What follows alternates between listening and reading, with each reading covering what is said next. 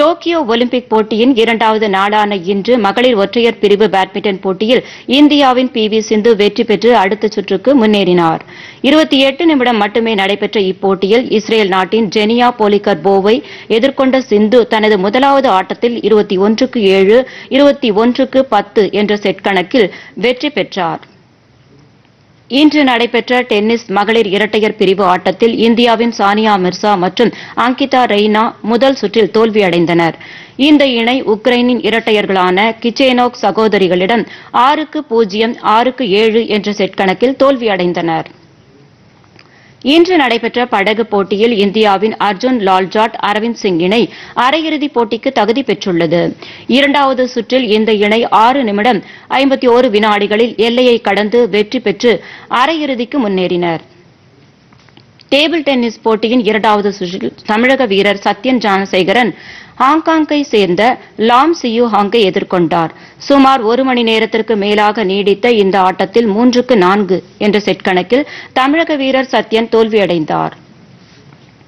இதேபோல் மகளிர் ஒற்றையர் பிரிவு இரண்டாவது சுற்று ஆட்டத்தில் மோனிகா பத்ரா வெற்றி பெற்று அடுத்த சுற்றுக்கு முன்னேறினார்.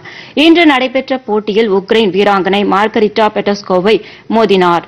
இதில் நான்குக்கு மூன்று என்ற செட் கணக்கில் மோனிகா பத்ரா வெற்றி பெற்றார். மகளிர் பத்து மீட்டர் ஏர் பிஸ்டல் பிரிவில் இந்தியாவின் மனுபாக்கர் தகுதி சுற்றில் தோல்வியடைந்தார். இந்த போட்டியில் அவர் பனிரெண்டாவது இடம் பிடித்து அவர் இரண்டு புள்ளிகள் இறுதி சுற்றுக்குள் நுழையும் வாய்ப்பை இழந்தார். மற்றொரு இந்திய வீராங்கனை யஷ் அஸ்வினி தேஷ்வால் பதிமூன்றாவது இடம் பிடித்தார். இன்று நடைபெற்ற பத்து மீட்டர் ஏர் ரைபிள் பிரிவில் இந்தியாவின் தீபக் குமார் இருபத்தி ஆறாவது இடமும் டி எஸ் பன்வார் முப்பத்தி இரண்டாவது இடமும் பிடித்தனர். இதனை அடுத்து இருவரும் இறுதிச் சுற்றுக்கு நுழையும் வாய்ப்பை இழந்தனர். குத்துச்சண்டை நாற்பத்தி எட்டு கிலோ எடை பிரிவில் மேரிகோம் இன்று தனது முதல் சுற்றுப் போட்டியில் டோம்னிக் குடியரசின் மிகுலினாவை வீழ்த்தினார். இந்த ஆட்டத்தில் நான்குக்கு ஒன்று என்ற புள்ளி கணக்கில் மேரிகோம் வெற்றி பெற்று காலிறுதிக்கு முந்தைய சுற்றுக்கு முன்னேறியுள்ளார். டோக்கியோ ஒலிம்பிக் பதக்கப் பட்டியலில் நான்கு தங்கம் ஒரு வெள்ளி மூன்று வெண்கலம் வென்று எட்டு பதக்கங்களுடன் சீனா முதலிடத்தில் உள்ளது.